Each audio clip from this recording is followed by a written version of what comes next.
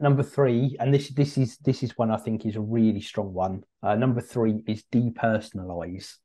And it says here when someone disagrees with us or somehow makes our life difficult, remember that it's typically not about us, it's about them um, and their own pain, their own struggle. And it's got a quote here, in fact, from Will Smith, where it says, um, because in all honesty, everyone is struggling. Some people are better at hiding it than others.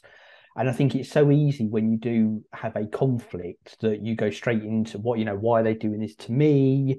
Why are they attacking me? Why are they making my life difficult, etc., etc., etc. And that bit, and it's something I've been telling myself is normally it's got nothing to do with you. Their their decision, their action is all focused around their mindset and their activity. You, your feelings are almost a byproduct of their feelings in this situation, but it's so easy again to to trigger that judgmental and defensive response. And I think once you once you take the personalization about it, once you realize that it's not actually about you, again, it's another step in getting rid of that wasted energy and getting to a solution and dealing with things. Yeah. That's a really powerful one for me. That one is, I think. Yeah, definitely. I agree with that. Ryan, you got anything on that one?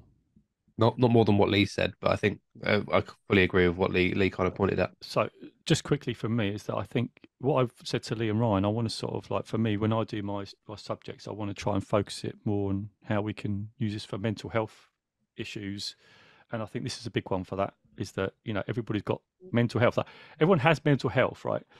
Everyone has to maintain mental health like your body. So I think this one's a really big one because everyone's got got shit going on, and I think we have to be mindful of that. And I think you're right. We project their pain on others, and I think we just got to be mindful of that. And we've got our own pain, and sometimes that can trigger us. And Eckhart Tolle's talked about a pain body, and when someone gets triggered, they then try and trigger you. So you're both entering into this whole emotional back. Uh, you know, back and forth, which then escalates, and then, like you say, it goes back to your first one about being mindful of what you say.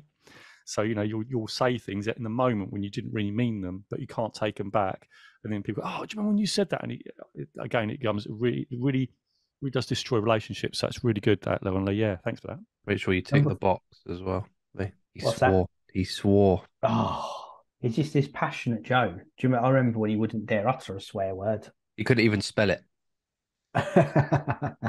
Yeah, it's because of you two. You influenced me. That's what it is. Positive influence, Joe. Positive. Be passionate. Be passionate.